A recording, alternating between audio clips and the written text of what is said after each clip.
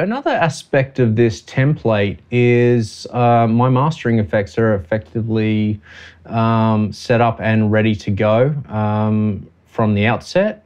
Um, I kind of do the same thing most of the time. I've developed this chain over many years, tweaking it, you know, swapping things in and out. Um, so this is my current chain that I've probably been using for a year or so. Um, I find with this I can get really good level. Uh, I mean, the challenge with mastering is always uh, getting level without doing anything destructive, um, but also feeling that kind of fullness and pump that the right kind of mastering chain can give you. Um, but without destroying your dynamics. So that's always the challenge with it. So this, this is kind of what I'm using at the moment. Effectively, everything here, every channel goes into one channel, which I call leveler. Now I'm using this particular plugin, but you can really use anything. Um, the only purpose of this is um, firstly to cut out some very low end, um, 32 hertz. Uh, this is just to take out the lowest of the sub stuff, which tends to eat up your headroom.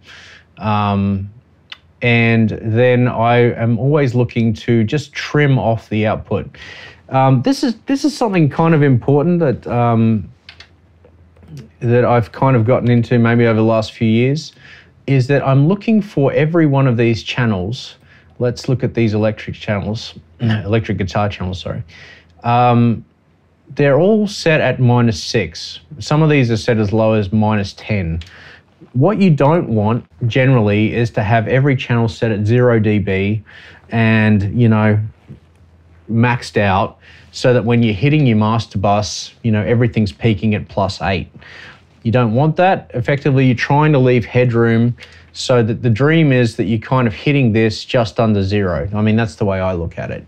Um, so that the sum total of everything that you're doing by the time you're hitting your first uh, master bus here is nothing's peaking. I have this here as a little trim plugin um, just to take the peaks off. If I've happened to have crept over and I'm plus 1 dB, I can just take that down. There's other ways to approach it. You can go back and, you know, drop every channel down, or you can use VCAs, which is a, a different way to do it. Um, I find that by that stage, you've got your mix sitting exactly where you want, and you don't want to go and rebalance all of those channels. So I'll just bring the whole mix down just slightly. But my template is set up so that I'm not going to be hitting this too hard, um, and hopefully around, you know, like if I'm actually turning the whole mix up to hit that um, zero dB mark, um, then I'm generally pretty happy about that. It means my headroom's good. And I find that just gives you a kind of cleaner output. Effectively, what I've got here is I'm hitting this at what I'd call the unmastered level um, without any peaks. Now, what I do at that point actually is I tap off um, a channel here. This is a send, which goes over to an unmastered bus. And on here, I just have a limited just to catch the absolute peaks. This means that when I come to bounce out the whole um, mix, if I want to bounce out an unmastered, I have it sitting here.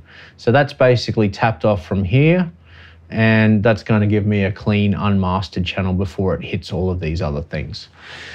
Uh, from there, I'm just going into a standard um, SSL type compressor.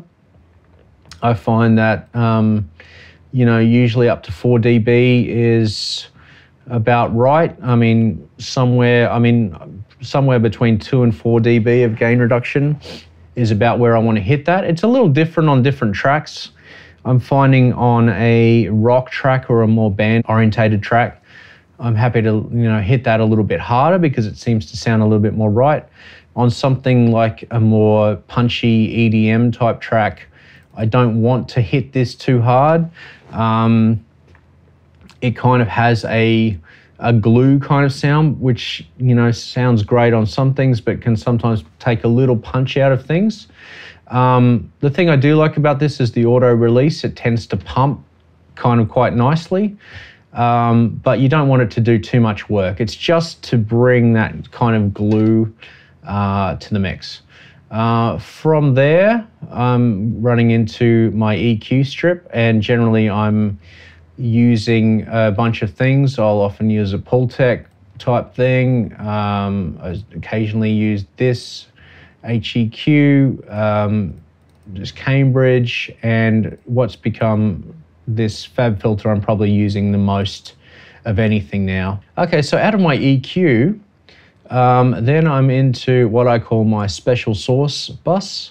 Um, this is everything that's kind of like I have this uh, infected mushroom pusher thing, which I can sometimes use. Sometimes it does a little too much. I have um, an Aphex, which I'm using quite regularly. Um, I have this um, uh, BX refinement thing, which is sort of a tape warmth kind of type thing. Um, MaxxBass, which I use almost all the time, and always using a stereo widener. This is the one I'm using at the moment. And from there, I'm hitting, I guess, my where I'm getting most of my level from, which is going to be an L3 and um, an inflator. And this is a great tool as well. This is the SLM um, 128.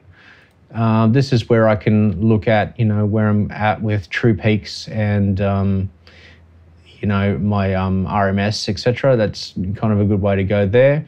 I don't tend to have a uh, a number that I'm looking at, but I'm just, you know, if I'm finding that I'm hitting too many peaks over, um, I might think about it.